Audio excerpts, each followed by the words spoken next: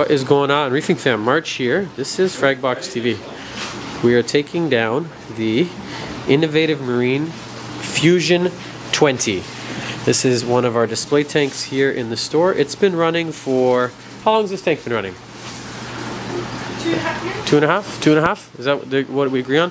Crazy, crazy growth. It's overgrown. So we're at the point with, with this tank where corals are, there's just a lot of warfare. Everything's touching and it looks great, but we're on the verge of sort of a collapse. Like, you know, the Cyphastrea is touching the Leptastrea, which is killing the Astreopora, which is touching the Goniopora, next to the Alveopora, next to the encrusting Goniopora. It's done so well, it's so grown that, like, look at this. You see the bird's nest in the back? The corals do not stop growing and they will grow over one atop of one another. Let's say we we left this tank for three years without touching it. I would imagine one or two of the corals would take out all the other ones. Sort of this natural selection process as they grow. They're all consuming for for light and for the same nutrients. And in a small tank like this, it just needs constant pruning, constant attention, and it's done really, really well. So why not prune it and keep doing that? We are no longer selling. Um, I don't think we're going to be selling these tanks here anymore. The Innovative Marine Fusion 20, great tank. Um, just going to switch directions. We're going to try different size. we are going to be talking more about these in the coming weeks. We're going to leave the Evo and we're going to set up three, maybe four different nano reefs uh, here in the store. So this little section of the store, we're crazy here. We get bored. You come in here every two months. I promise you something is going to be different in the store. So this little section is all going to come out and then we're going to we're going to install three or four new tanks. So that's that's one reason the overgrowth um, and it's time. Sometimes a tank it's just it's just time it looks good. Maybe better to end it while it's good than wait for stuff to go downhill. Like here, the acans are getting destroyed.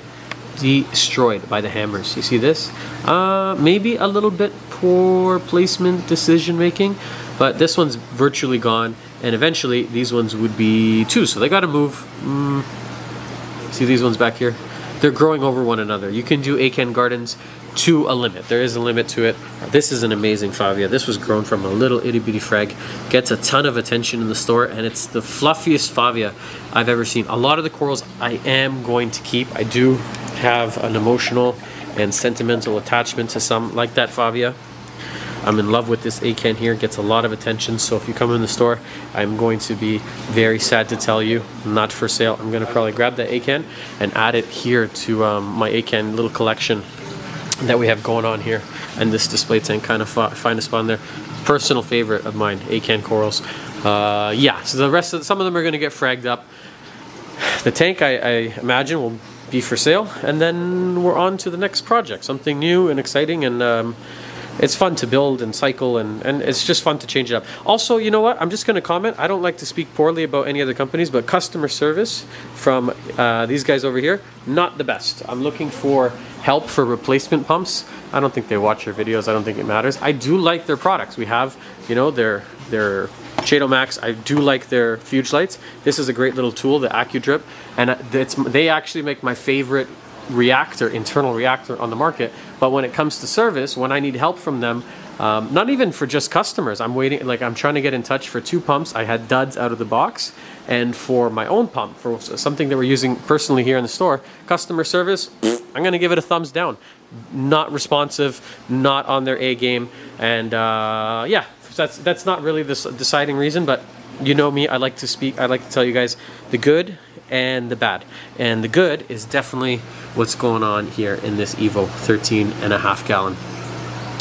Ba da boom. This is a beautiful little tank. I think that's it. We're going to wrap this one up. A little bit of a shorter video today, guys. Just wanted to sort of document it and give you a little update on what is going on here in the store. And it's nice to look back and look, oh my god, that tank was crazy. Do you guys remember that? Because if we don't record it, then we're going to forget because I'm getting old. And that's the end of the video. We will see you guys back here very soon. Hopefully you liked it. Give us a thumbs up and subscribe because we try to do a video here as often as we can. What are you doing, Mr. Hermit Crab? He's doing he's doing parkour. Parkour. Parkour. Thanks guys. We'll see you back here soon.